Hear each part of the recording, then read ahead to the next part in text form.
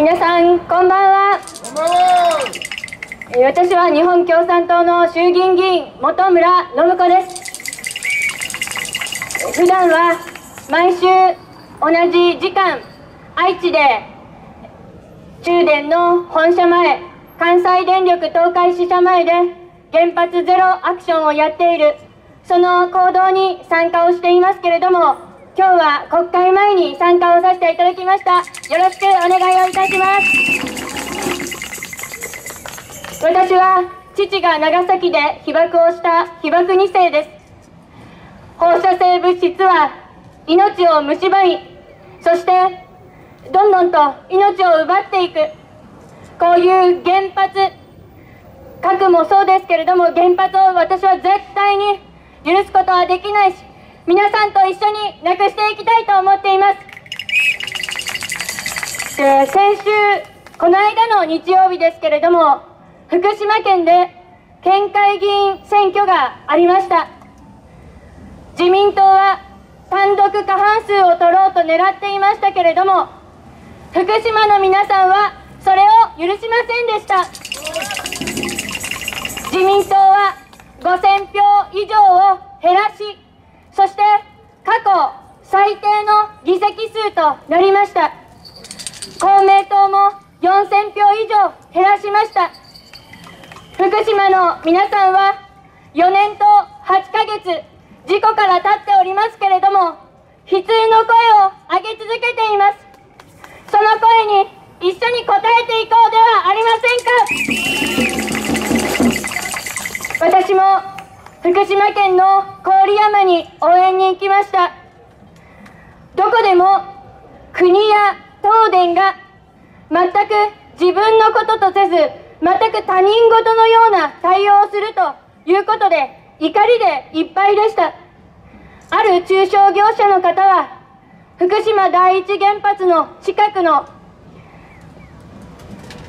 豊岡町というところに住んでおられましたけれども商売をやっていて右肩上がりで売り上げは上がっていたと。しかしその時に福島第一原発の事故があり住むことができない帰還困難区域になってしまったと。でその賠償のお金で千葉県に引っ越そうと思ったけれども千葉県で同じような家を建てることは賠償金では無理だということが分かったと。で一時帰宅をしようと思ってそこには野犬とか熊とか出るもんですから迂回ルートで通ったわけですけれどもその迂回直通ルートの分しか東電は保証をせずに減額をするということまでやっていると。そしてさらには営業の損害賠償の保証を打ち切るということを言っていると。で東京に出てきて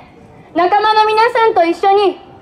この営業の損害賠償打ち切りはやめてほしいというふうに訴えましたけれどもやっぱり国と東京電力は他人事で打ち切ると言ってきたとおっしゃっておりました。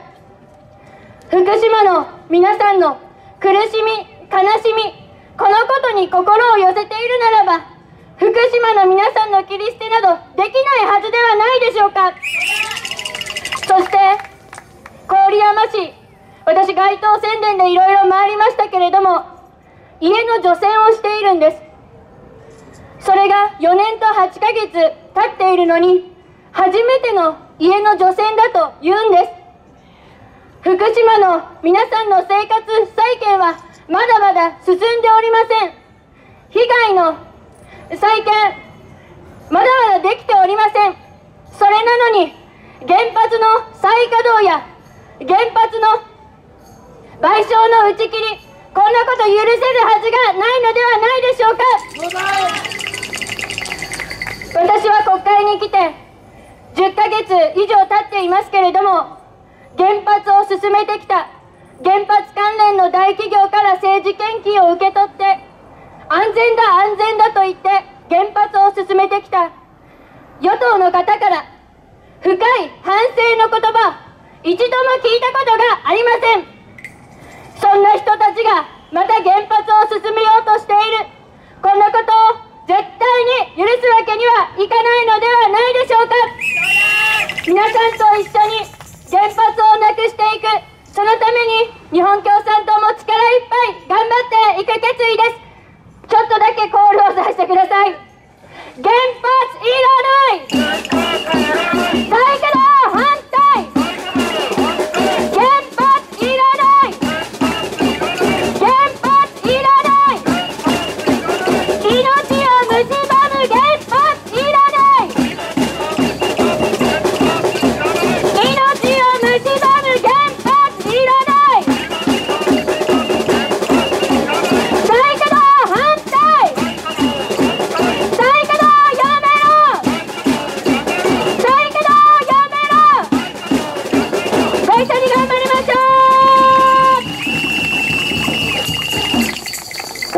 ありがとうございました。